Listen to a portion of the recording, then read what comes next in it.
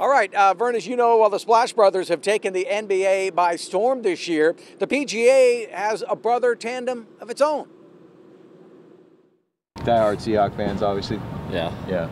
It's our one thing we can cheer for in the Northwest. the 12th man could soon be hitching its wagon to golf. Tacoma, Washington's Putnam brothers are a rare breed on tour. You know, it's cool having family on the road and being able to travel and, and hang out. And, you know, we try to at least get nine practice holes together uh, before tournaments. The Putnams are the first set of brothers to play full time on the PGA Tour since Kurt and Tom Byrum in the early 1990s.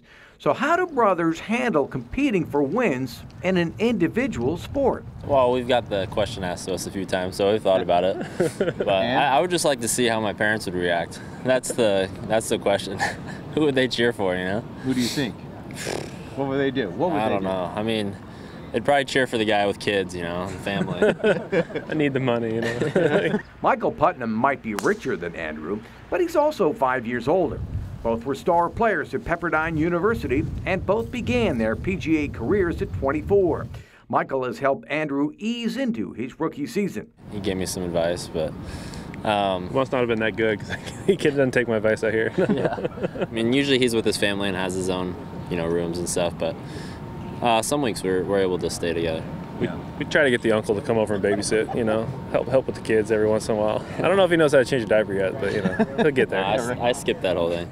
Golf is truly a family affair for the Putnams. They have a younger brother who was a high school state champion, and their older brother is Michael's caddy. Yeah, my older brother Joel's been my caddy for seven years. Um, we've had a, a, break here and there, um, you know, brother stuff. brother stuff doesn't seem to exist in front of the galleries. At home, it's a different story. I'm a little more, uh, a little bit more high strung. I think we're both pretty laid back. Um, but we both like to compete. Yeah, he's more competitive. He breaks ping pong paddles when I beat him. So, actually, he's probably a better player than I am. I'll admit that finally. When it comes to golf, nobody has solid bragging rights this season. Both haven't cracked the top 100 in the FedEx Cup standings, but Michael sees a bright future for his little brother. I definitely think he's a better player than I am. Just doesn't know yet. Uh, I figure if I can beat him every week, I'm going to keep my card every year and play pretty good. So, um, yeah, I mean, hopefully he'll do way better than you know bigger and better things than I've ever done or will do.